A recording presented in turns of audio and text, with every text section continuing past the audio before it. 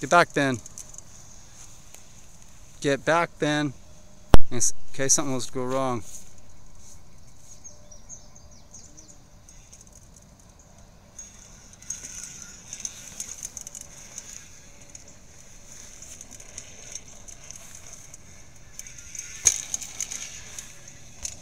Good job, Byron.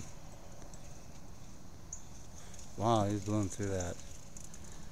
That's his thing.